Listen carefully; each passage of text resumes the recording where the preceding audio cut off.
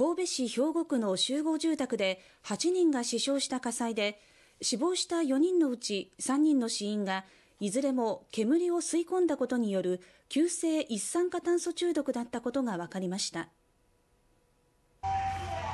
おととい未明神戸市兵庫区の3階建て集合住宅で起きた火災では1階に住む77歳から86歳の男性4人が死亡し60代の男性2人が意識不明の重体70代と40代の男性2人が重傷を負いました。司法解剖の結果亡くなった4人のうち3人が煙を吸い込んだことによる急性一酸化炭素中毒だったことが分かりました。3人はいずれも自分の部屋で見つかり目立ったやけどの跡などもなかったということで